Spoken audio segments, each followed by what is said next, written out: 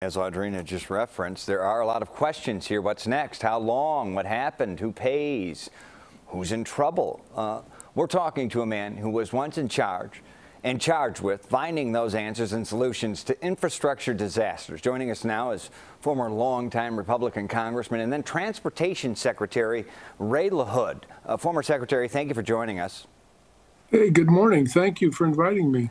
Mr. Secretary, uh, was there a comparable infrastructure disaster in your tenure, one that gives us a blueprint to this? And, and you know, if so or if not, how would you prioritize the investigation here? It kind of seems like two pronged, right? Like you got to find out the why, but you got to get that port back open. Um, the difficulty with your job you once had. Can you kind of take us into that?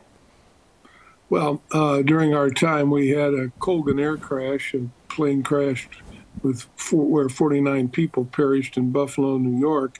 Now that's not not anywhere near uh, the kind of uh, um, destruction that took place uh, in the Baltimore Harbor. We also dealt with pipeline explosions in communities. Uh, this is the worst, though. I think this uh, will go down uh, in the history of DOT as one of the worst disasters in the history of the department.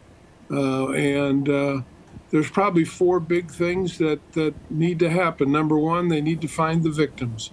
Uh, there's still four people uh, that are submerged underwater. Their families are waiting uh, for them to be found.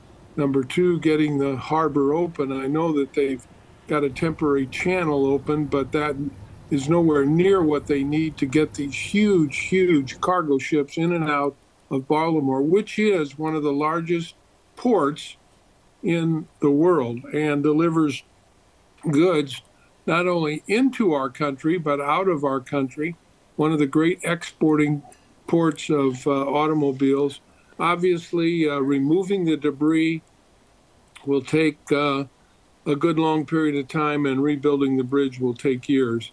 And the cost is going to be enormous billions of dollars uh, for the recovery of the victims, for opening the channel, for removing the debris, all of these collectively, plus building a new bridge, will cost uh, uh, a lot of money. I, I would say billions of dollars, and could take up to five years to get that bridge open. Wow. Probably a year or less to get the port open, but uh, wow. they're they're they're working very hard on it. Uh, that answered many of my questions there. Uh, fascinating insight, uh, Mr. Secretary. So let's now shift to politics. Of course, you were a Republican in a Democrat's cabinet under President Obama. Uh, we're not seeing that at all right now. Bipartisanship seems to be screamed out by the right and the left, the, the far side of each party. Uh, your thoughts on the current climate of things? Well, look at the the parties are are, are both in their corners. The Democratic Party is uh, turned into a very, very progressive party, uh, and the Republican Party has turned into a very, very conservative party. And uh, there's there's little room for uh, people in the middle, and they get drowned out by the loud, loud voices of the extremes in each of the parties. And uh, really, uh, to to get the money that is needed to to rebuild the harbor, to open the channel, to rebuild the bridge it's going to take bipartisan cooperation right. uh, to settle uh, the idea that we need to continue to fund Ukraine. Is going to take bipartisan cooperation. There's several big issues mm-hmm. dealing uh, in, in, dealing in Washington uh, that need bipartisan consideration, and that's what we need to get back to in our country to solve our big problems.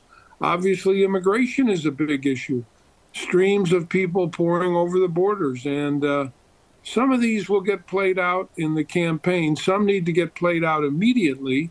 Uh, certainly, the Baltimore Harbor issues need to get played out immediately. Ukraine needs to be dealt with. Uh, and uh, it's going to take bipartisan cooperation. It's going to take people coming out of their corners, coming into the middle, and uh, believing that compromise is not a bad word. It's the way that uh, for 250 years in our country, we've been able to get a lot of big things done. Yeah, I never thought of that. Uh, this could become a political football, um, funding the repair of the bridge and the cleanup. Uh, fascinating to think that's where we are. You know, there's an impassioned right and left, like you said. Many Americans are kind of holding their nose when they think about voting for President in November. Legitimate questions about physical and mental wellness of both nominees.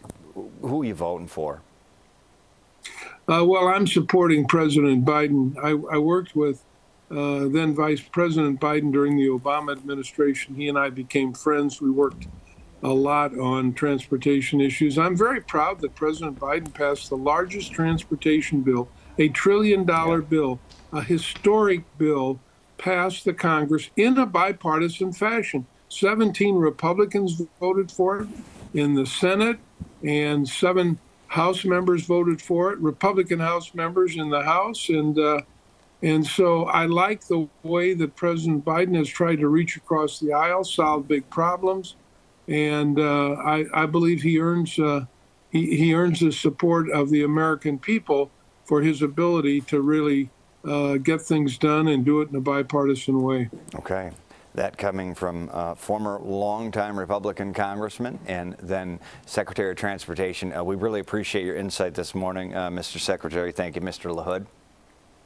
Thank you very much for inviting me. And we'll be right back.